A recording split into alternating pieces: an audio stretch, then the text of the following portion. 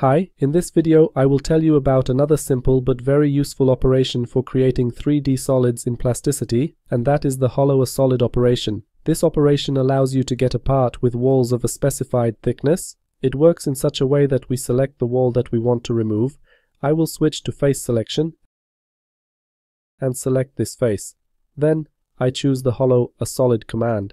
Of course, each command is also available in the command list. And here we have this command available as well. However, we have an icon here, so I will select that icon. Now we specify the wall thickness. We can do this by dragging this gizmo. Here, note that when we drag one way, the solid will be enlarged and the wall thickness will be added to the outside. On the other hand, when we drag the other way, the wall thickness will be added to the inside. If we set the wall thickness to the inside, the thickness value is negative, and if we drag it in such a way that the solid is enlarged, the thickness value is positive. We drag this gizmo down or up. We can specify the thickness precisely. We can enter a specific value here, or we can press the D key on the keyboard and type in the value we want to set here.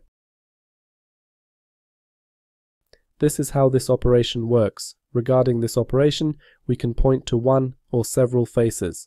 Now, in the case of this solid, using the Shift key, I will select three faces. I will choose the hollow solid command, and as I drag this gizmo, I can get such a solid.